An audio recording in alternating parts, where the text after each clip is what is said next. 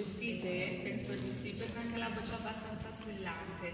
Buonasera a tutti, è un piacere accogliervi in questa sala meravigliosa. Eh, vi porto naturalmente i saluti del nostro sindaco Marco Bucci e mi piace riferire una frase che lui dice sempre quando accoglie in questo salone. Questo è il salone di tutti quanti voi genovesi, quindi per noi è un onore ricevervi nelle vostre manifestazioni. Eh, ne facciamo tante e noto con piacere anche un tocco di eleganza questa sera perché non sovente possiamo vedere i fiori e quindi vi ringrazio perché eh, è uno stile, ahimè, purtroppo non usuale, invece dovremmo riprendere assolutamente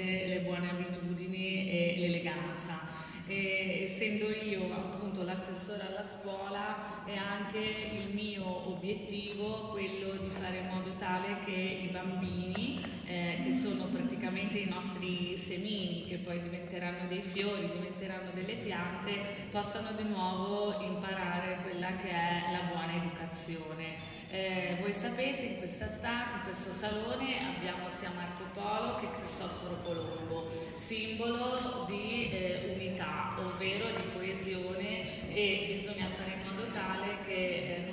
nonostante le possibili divergenze tutti quanti noi invece dobbiamo essere sempre uniti per un unico obiettivo. Quindi devo assolutamente ringraziare la signora che ho avuto modo di conoscere poco, però spero di conoscerla in assessorato da me per poter portare anche avanti dei progetti, sono a disposizione, in quanto assessore all'istruzione effettivamente, come ripeto, è molto importante formare i nostri giovani.